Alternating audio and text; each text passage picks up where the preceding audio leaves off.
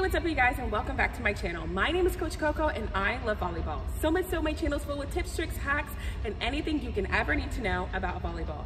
So today I'm gonna talk about some warm-up, warm-up, some warm-up drills that you can do on a blank wall. Let's get right into it.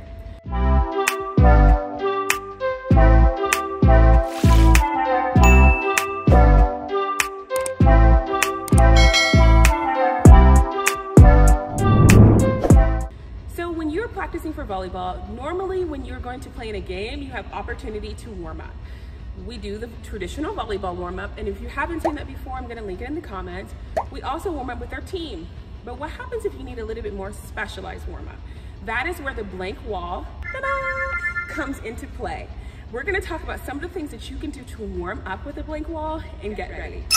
So one of the most traditional things that we see happen on the blank wall is the hitting rebound. The hitting rebound not only works on your shoulders for your serve, but it warms your entire shoulder up so that way if you're an attacker, that you're ready to attack. The worst thing that could ever happen is you go on the court and you're cold. It's happened to me, it's not fun. So we want to make sure to warm up our shoulder appropriately. Typically after I do my volleyball warm up, like my hitting lines, the butterfly drill, the serving drill, I would still come here just to warm up extra.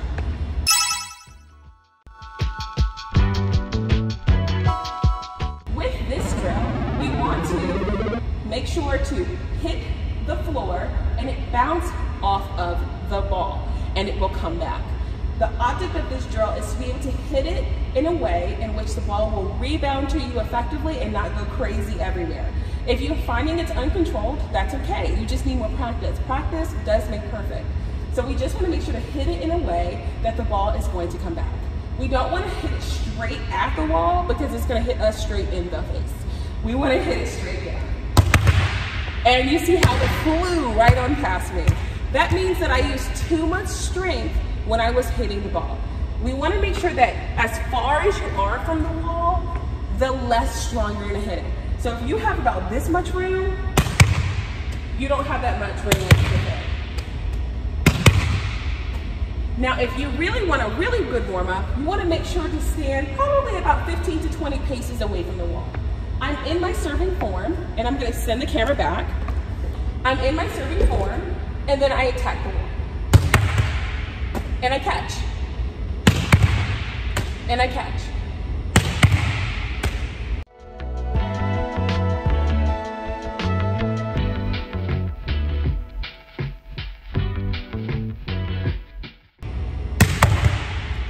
Now, once you start getting used to just that catching motion, then you can start doing it repetitively. You'll often see players do both arms, one arm, super hard, not hard. There's a lot of different ways that you can use the wall to warm up.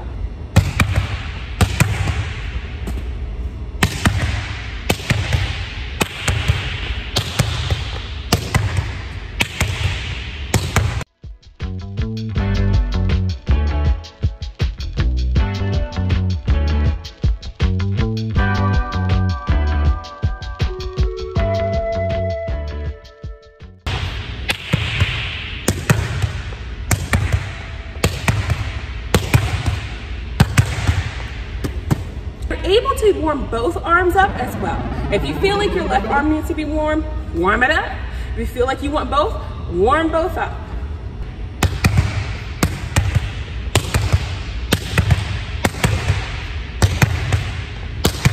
That is one of the most popular wall drills that you can do, but let's move on to the second wall drill.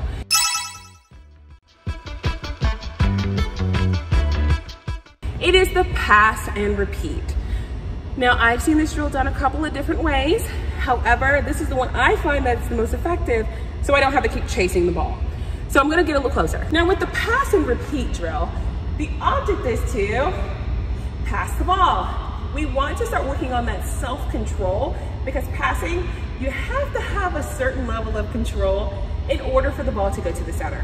With the pass and repeat drill, I'm going to toss it up, it, and my object is for me to get it back to myself.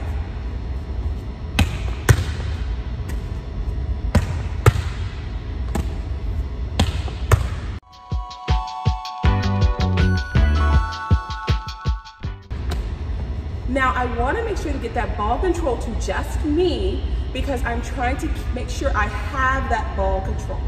You're aiming to get the ball back to you.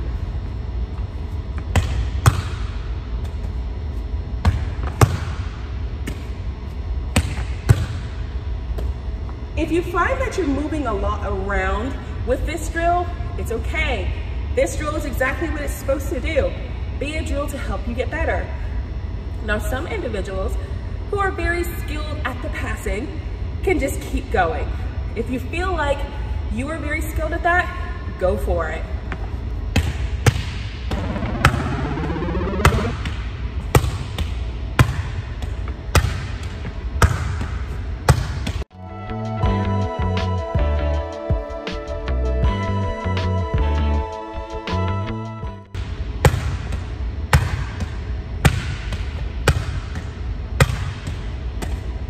And that's something that you can do if you are very skilled at the passing.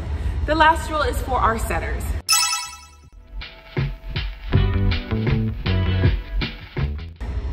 It's the set and repeat. Set to the wall, catch. Set to wall, catch. Set to the wall, catch. Now if you're really good, you can set to the wall and catch.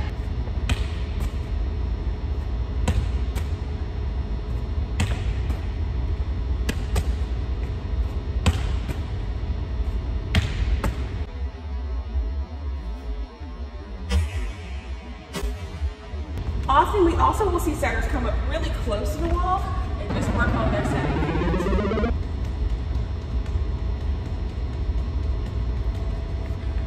So I hope that you liked this video.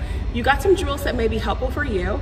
I hope that this will inspire you to use a wall and please like, comment, subscribe, and I'll see you guys next time.